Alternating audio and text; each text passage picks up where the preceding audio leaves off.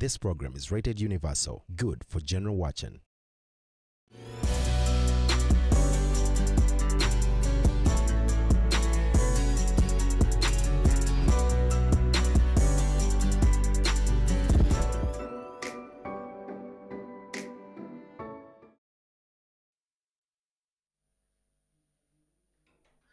Hello. Welcome to this uh, edition of uh, the weekly Christian Weekly Q&A with the Kingmaker Apostle Goodwill Magezi. And uh, on this edition, we would like to focus on something that is foundational, something pertinent, and that is the subject of supernatural prosperity. And uh, in the body of Christ, there, there is a prevalent anti prosperity attitude and teaching which has only come to rob the body of Christ and the children of God of their inheritance in Christ. Because the same people who are propagating this anti prosperity gospel are the same people who also want to prosper. Now, you that is shooting yourself in the foot. You cannot, uh, you cannot at the same time be propagating an anti prosperity gospel and yet at the same time have the same thing that you're shooting down. Now, that is antichrist. It is overthrowing yourself. This is why it is pertinent for every child of God to understand that prosperity is of God. Prosperity is an attribute of who God is. In the divine commission in Genesis chapter 1, when he commissioned man in his role as the image of God, he says that let us create man in our own image and in our own likeness, and let them, that is Genesis chapter 1, verse 26. He says, Let us create man in our own image and in our own likeness, and let them have dominion over all things. The commission to man in being created in the image, that is the structure of God, and likeness, that is the functionality of God, was that he may be fruitful and multiply. So, in the original design, man is a, big, a being of supernatural prosperity. That also implies that it is in man, when, when man is established and aligned to divine order, the necessary result should be supernatural prosperity, where all things respond to him in the same way they would respond to God. Because man is the image of God on the earth, and likeness would imply that man has the ability, it is inherent in him to function as who God would function on the earth. We are looking at the subject of supernatural prosperity. Now, the Bible clearly says we are taking it from the foundation, and the foundation is your heart. The foundation of all, the, of all prosperity is your heart. For the Bible says in Proverbs chapter 4, verse 23, that guard your heart, keep your heart with all diligence, for out of your heart are the issues of life. This simply implies that the heart is the control tower of your life. There is no other place to change. If you must transform or transfigure your life, the context of your life, the quality of your life, the place to start with is your heart. The ideas that you espouse determine where your life goes. Now, that is very important for every Christian to understand. This is why we preach the gospel. The gospel of salvation or the gospel of the kingdom of God is an idea. An idea that must be planted as a seed in the hearts of men. Let me put it on a natural context. People go to school that they may espouse ideas that they may contribute to, by virtue of their lives, to society. For example, you will find that a doctor gives medical services. But before a doctor can be successful in their medical uh, tenure, in, their in the tenure, in the deliverance of their service, they will undertake a medical course. That is when their heart gets espoused. They unite their heart with the idea of medical knowledge or medicine. Now, when they graduate or when they are crowned as medical practitioners, they have become the embodiment or the propagators of the idea of medicine. Now, this is what the kingdom of God is all about. The Bible says that the children of this world are in this age wiser than the children of God. But that should not be the case because he has said also that we should be the head and not the tail on every frontier, even in executing the idea of propagating the gospel. Now, the gospel is an idea. And you must understand that giving is the basic tenet of all forms of prosperity, of all forms of reproduction. Let us look at God.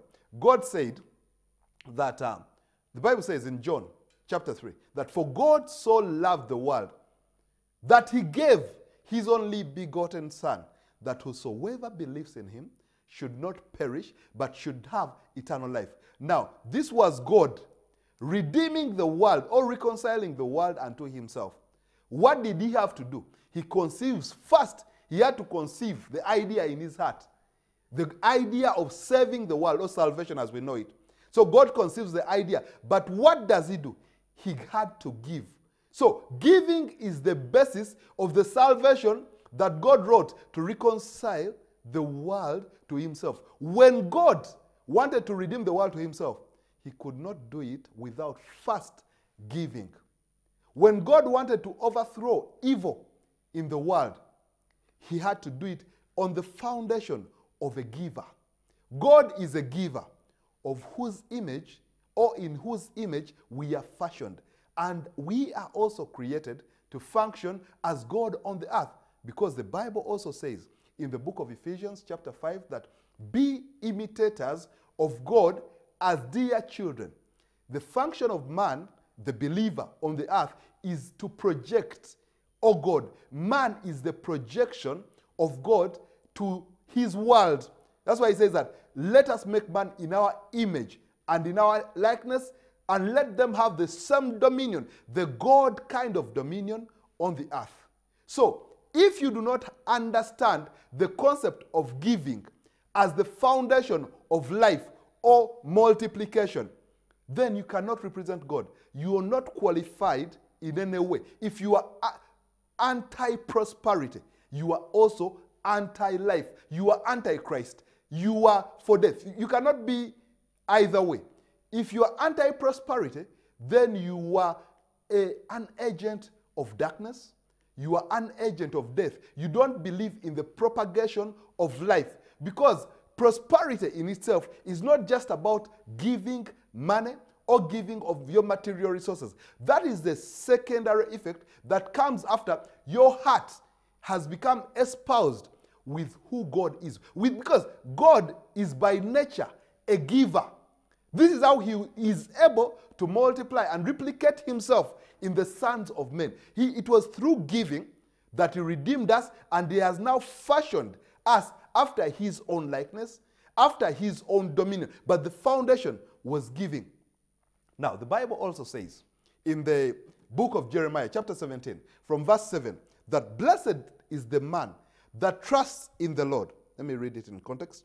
Jeremiah chapter 17, from verse 7 says, Blessed is the man that trusts in the Lord and whose hope the Lord is.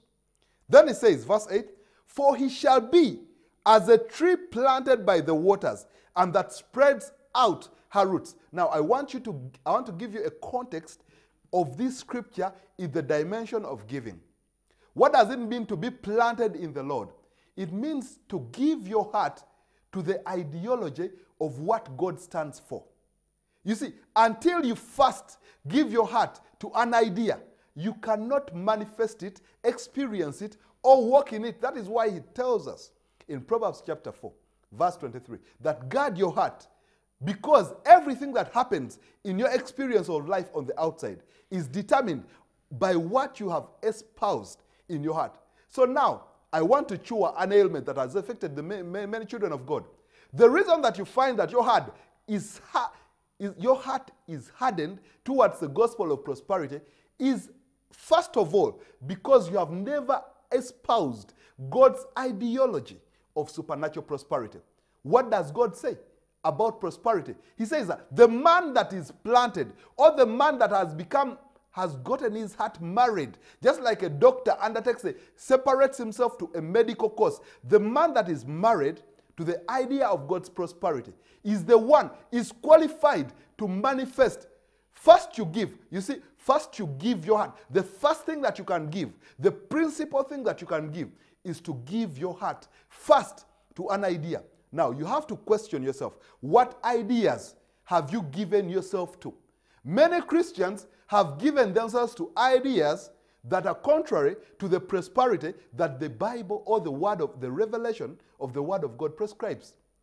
And because it says that in uh, Romans chapter 12, that do not be conformed to this world, but be transformed by the renewing of your mind. Align your heart to what God has said. Now, for example, did you know? Did you know that every child of God is born rich? When a child, when anyone is born into the family of God, that is a child born king after Jesus, after the order of Jesus Christ, because we are in the order of Christ. That is why we are called the body of Christ. Now, everything that is in Christ, oh, Christ is royalty. He is the head, and we are the body. Now, if the head is the king, that means that the hand is also king. But now, not many Christians have espoused that identity, have taken it upon themselves, just like a doctor separates himself to medical knowledge. That is a question that arises, the question of identity. Whenever you go, they will ask you, What do you do? Oh, what are you married to in this life? Because that also determines the context, the quality, and the experience of your life, what life will bring to you, the way life will relate to you, the way every other person and all the elements of this world relate to you is defined by the identity that you wear.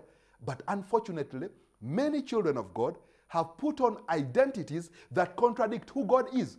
God is a king. That king who said, Let us create man in our image. Image means structure and our likeness. And that is what gives you dominion over all the elements of this world, over all the nations of this world, over all the governments of this world. The Christian is a world overcoming unit. As one man, you can dominate the world. But the first place is to understand the foundation of, super, of supernatural prosperity, which is give your heart to the Lord. We gave ourselves first to the Lord and then to the, to the world to dominate it. Now, you cannot dominate the world before you give your heart. Now, that is what it entails to be planted in the Lord. And he says that this man that is planted in the Lord is, he says, is like a tree that is planted by the waters.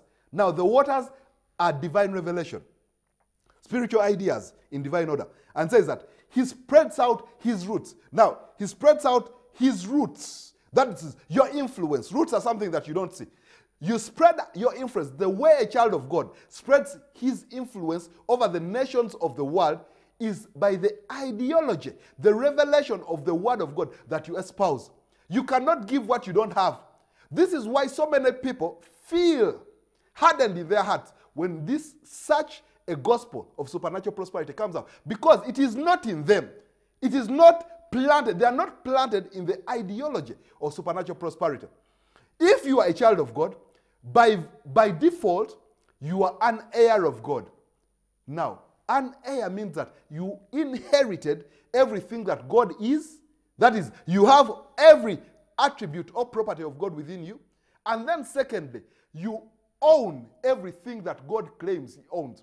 Now, the same God has said that the earth and the fullness thereof belongs to the Lord. Now, until as a Christian, you become radical enough to believe that against every other thing that the world has tried to impose on you, you have not yet stepped into the realm of God. You cannot be an ambassador of God until you're radical enough to believe that you are the heir of God against all religious connotations and uh, ideas that have been planted in the world. You are the heir of God. That means that you are the possessor of heaven. That is what the word heir or inheritance means. If God, now, what would God do with, for example, five star hotel chains? What would God do with uh, all these earthly positions? And yet he claims that every throne, all authority comes from God, all riches come of God. That is what the Bible says in First Chronicles chapter 29, verse 12. That all riches come of God, and He gives them to, the, to whoever He wants. What does that mean to you as a child of God? That you are the Lord of all wealth. The child of God is the Lord of all wealth. And when I mean all, all means all. That is why you'll find surpassing, surpassing. The Bible calls them exceeding great and precious promises. These promises that God has made to those that believe in the Christ are mind boggling. And yet we are called to, that is what we are called to believe and receive. How do we believe and receive? To believe is to espouse. The same way a woman gets married to a man and forsakes her identity and takes upon herself the identity of her husband. This is the same way that we receive all the ideas that are have been laid up for us in the revelation of the word of God. What has God said? That in that day, when I will bring you into the land which I swore to your fathers, to give you great and beautiful cities which you did not build. Now, as a Christian, that is your inheritance. But how far and how radical are you willing to take it against everything that they've told? You see, when you went to school, for example, if you went to school in Uganda, one of the things that you are examined upon was that you were told that you are a third world citizen. Now, that is far removed and contrary to what God says of you. But for you to pass the examinations, you had to agree to that and say, Who are you? I'm a Ugandan and I'm a third world citizen because you even register. But the Bible says that you are a royal priesthood. You are born of God. The Bible says that you are of God, little children, and you have overcome the elements of the world. We are from above. We are not citizens of this world. Yeah, though you are in the world, and yet you are not of the world. But how radical. The same way, you see, doctors will tell you about everything they've learned. They'll tell you about uh, organisms that you can't see, that you, are, you have a virus, you have, those are things that you cannot see. And yet, because you trust that they learned these things, that they have been qualified to assess, you will believe that you have a virus. But what of God? What does God says? He says, you are a being of divine order. Do you know that the same God also says that you are the perfection of beauty? Do you know that the same God says that you are all divine? Do you also know that the same God says that you are the Lord of money? Because when God says that the silver is mine and the gold is mine, and then he says that you are the heir of God. What has God do? What has God got to do with earthly money? It means that God has laid it up for you to, to use, to enjoy. Does God want you to have more than enough wealth? Yes. So much so that He's the God of more than enough. God does not give sparingly. Whenever God gives you, He will give you in avalanches of great abundance. Every Christian has an obligation not only to believe this, but to walk in exceedingly supernatural wealth. Mind boggling, it's an obligation. But you see, the first step is to believe this. What does it mean to believe this? It is to espouse your heart. He says that guard your heart. So you are not to allow any idea that is contrary to supernatural prosperity. You see, you are born rich. You are not the poor trying to get rich. When you receive Christ, the Bible says, if any man be in Christ, he is a new creation. All things are passed away. Then he says that, behold, see that all things have become new, and all things are of God, who has reconciled us first to himself. And then he says that he has given unto us the ministry of reconciliation. What does the ministry of reconciliation imply in the context of supernatural prosperity. The ministry of reconciliation, it would it is incumbent upon you to recognize that having received Christ, you are now you are the Lord of all wealth. The hotels upon a thousand hills belong to you. The corporations, the banks upon it is true. God said so. He said he did not only say that he's the Lord of all wealth, he also said that the earth and the fullness thereof. And then he added something that is super aboundingly surpassing in every other form of wealth. He says, and all of them that dwell therein belong to the Lord. That means that you, he says, ask of me, and I will give you nations as an inheritance. God wants to give you multi-billionaires for a possession. You see, there are men who have built empires and yet do not know the Lord. But now, like God did it for Joseph, Joseph in the book of Genesis, who came into a country as an alien And yet, because the Bible says in Genesis chapter 39, verse 2, that Joseph was in the house of his master Potiphar, and he was a prosperous man because the Lord was with him. Now, the constitution of our prosperity is that we are one spirit with God. God. Joseph was a prosperous man. There was no man that was richer than Joseph in the nation of Egypt, where he had been sold as a slave. Can you imagine? This is the mind of God concerning you. That though you are in Uganda, and yet there is no one that is richer than you on this planet Earth, not even in America. How radical are you willing to take this? Because it's not, this gospel is not for the faint hearted.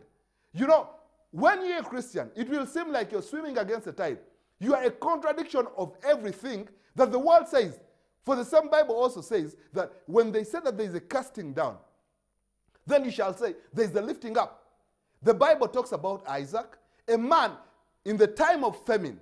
God appeared to him while everyone was running away out of that land. God appeared to Isaac, which pattern we follow, and told him, Stay in this land. Can you imagine in the time of famine, when every when businesses are failing, when banks are failing, when nations are, have been overtaken by debt, God tells you to invest in the same business where every nation, where every businessman, where the professors have failed. And the Bible says Isaac sowed in the land where every other thing had failed. And the Bible, do you know what the Bible says?